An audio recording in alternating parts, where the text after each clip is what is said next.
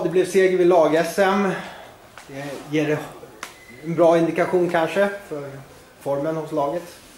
Ja, absolut. Fast det här kommer bli en helt annan grej dock. Vi Ja. möter eh, Europas bästa lag. Det, det går inte riktigt att jämföra med laget i Sverige, men det är klart att eh, formen bevisas framförallt av killarna som kommer hem från Asien. Mm. Eh, som tog medaljer och fina placeringar. Så.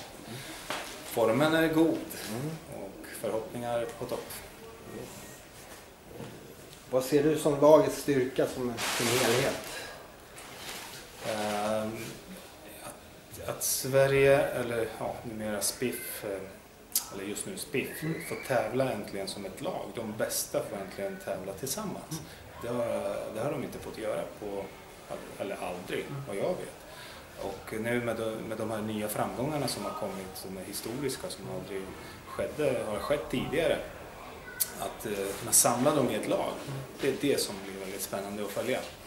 Att eh, de här stora framgångs eller framgångsrika eh, judokas kommer nog kämpa i ett och samma lag. Det, det tror jag blir lagets styrka. Mm. Tack Boris, lycka till! Så, tack.